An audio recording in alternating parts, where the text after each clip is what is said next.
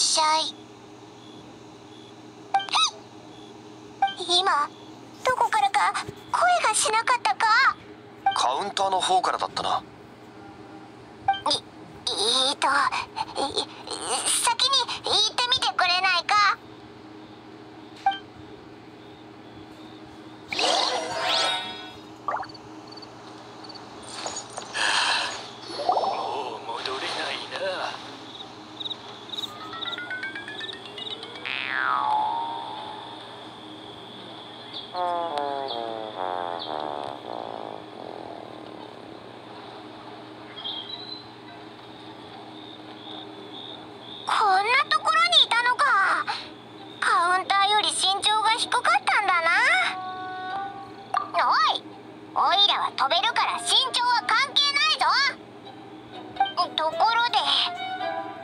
女少し変わってないか？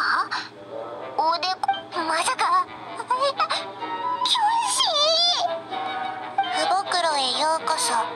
ナナだ。ナナは一度死んだ。仙人に助けられた。だからキョンシー。モンドだとこんなのありえないよな。それでお嬢さんここに衛星光はあるか？処方箋は処方箋は持ってきた？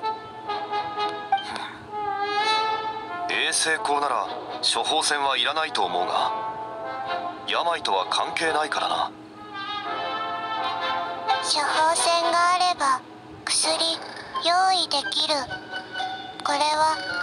ナナが自分に下した直令。キョンシーを動かすには直令が必要だ。しかしなぜかこのお嬢さんは自分で自分に直令を下しているみたいだな。処方箋はないが衛星光を用意してほしい。いいよ。俺急に協力的になったな。でもナナを手伝ってほしい。その方が公平。店員が客を手伝うのは不公平なことだったのか？構わん。こういう対等な関係も悪くない。リーゆえにおいて取引の真髄とは相手の立場に立って考えることだ。じゃあ天候山に行って奇襲機を使ってココナッツ羊を飼ってほしい。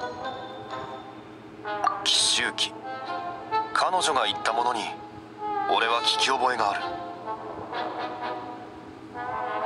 奇襲機は昔仙人が天候山の上に建てた土砲で機関術の産物の一つだ。場所は天候古城園の間にある。自動的に巨大な魔物を迎撃するため外からの脅威を防げるんだ。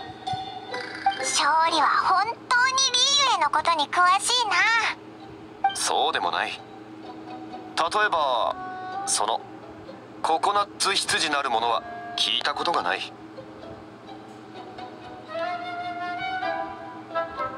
ココナッツ羊は伝説の反戦の獣。ええ？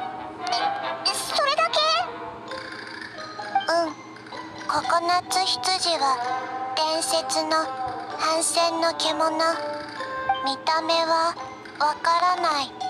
どこにいるかわからない。なんでいるかわからない。まあいい。まずは奇襲機の周りを探そう。もしかしたらそこに手がかりがあるかもしれない。ココナッツ羊どんな生き物なんだろう。